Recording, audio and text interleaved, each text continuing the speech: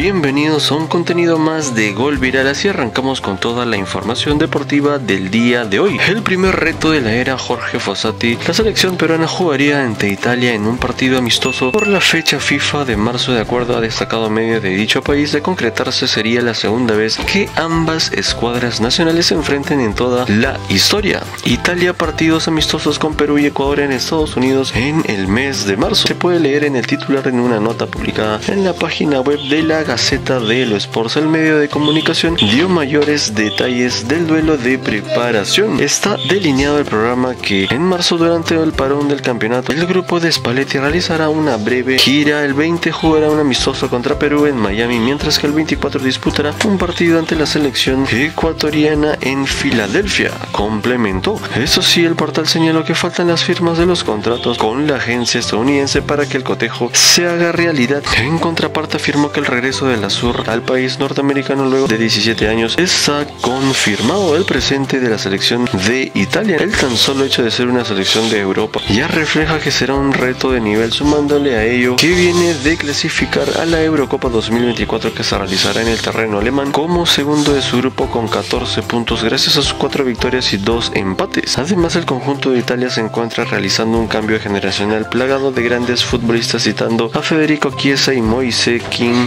de Juventus apoyándose en elementos de experiencia como su capitán Jorginho del Chelsea, importante rival para la escuadra de Jorge Fossati. La única vez que se enfrentó Perú versus Italia no será la primera oportunidad que peruanos e italianos se crucen en un campo de fútbol. Y es que tiempo atrás, exactamente el viernes 18 de junio de 1982, midieron fuerzas por la segunda fecha de la fase de grupos de la Copa del Mundo realizada en España. En aquella vez el compromiso terminó igualado a uno. El mediocampista Bruno Conti abrió el marcador a los 19 minutos en el Estadio Municipal de Balaídos, mientras que el lateral izquierdo Rubén Díaz, conocido como el panadero, decretó el empate tras la asistencia de Teófilo Cubías. Dicho resultado le favoreció a los europeos debido a que pudieron clasificar a la siguiente ronda del certamen de la FIFA al sumar tres puntos, mientras que los sudamericanos quedaron eliminados tras quedarse en el último lugar con apenas dos puntos. Reto importante para Jorge Fossati y Perú. El 2023 fue nefasto para la selección peruana, sobre todo en las eliminatorias sudamericanas camino al Mundial de Estados Unidos, México y Canadá 2026, pues totalizó dos puntos de 18 posibles al empatar contra Paraguay y Venezuela y solo anotó un gol a lo largo de las seis primeras fechas. Esto provocó que la bicolor resbale al fondo de la tabla de posiciones de las clasificatorias y también baje algunas posiciones en el ranking FIFA. Además aceleró la salida del entrenador nacional Juan Reynoso, quien tenía contrato hasta finales del 2025 en la Videna. En su lugar llegó un conocido del medio Jorge Fossati que recientemente se consagró campeón de la Liga 1 con Universitario. El Charrúa deberá utilizar su experiencia para revertir esta mala situación y tratar de clasificar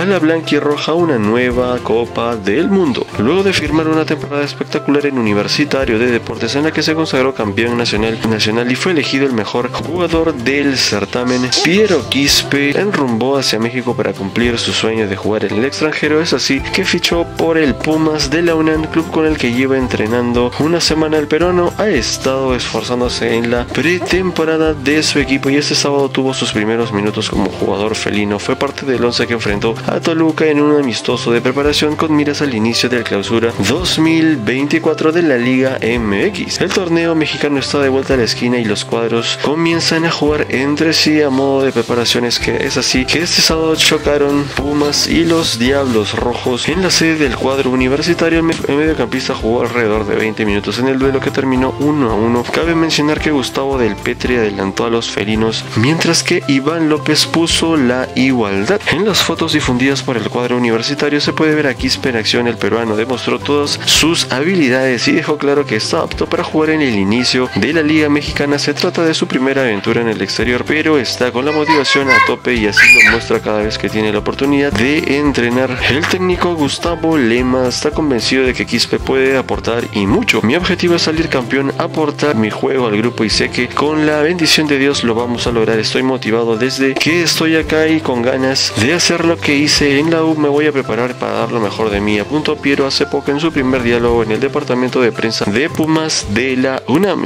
Luego de confirmarse oficialmente que Jorge Fossati asumirá el mando de la selección peruana tras la destitución de Juan Reynoso, Se vienen meses de intentos trabajos para que el equipo llegue en óptimas condiciones a la Copa América que se disputará en Estados Unidos y, claro, tomar un segundo aire en las eliminatorias. Estamos en el último lugar con apenas dos puntos. En ese sentido, según reveló el periodista Alonso Contreras de DirecTV y el diario La Gaceta de lo Sport, Italia está cerca de cerrar un acuerdo para disputar un partido amistoso frente a la Blanquirroja, el cual se disputaría en Miami el 20 de marzo. La información que se tiene hasta el momento es que una agencia norteamericana está organizando un doble encuentro para la Azurra, ya que el otro rival con el que se enfrentaría sería Ecuador, el 24 del mismo mes en Filadelfia. Los oponentes y las fechas no son oficiales, todavía faltan las firmas de los contratos con la agencia estadounidense que organiza el doble compromiso. Sin embargo, el regreso de la selección a Estados Unidos es seguro. Casi 19 años después de la última vez, Italia vs Ecuador 1 a 1, en junio de 2005 en el Giants Stadium de Nueva York, señala el citado medio italiano. Con esto, detalla la Gaceta de lo Sport, quedaría descartada la posibilidad de que el cuadro dirigido por Luciano Spalletti enfrente a Argentina en la ventada de fechas FIFA de marzo, tal como había adelantado en su momento TNT Sports.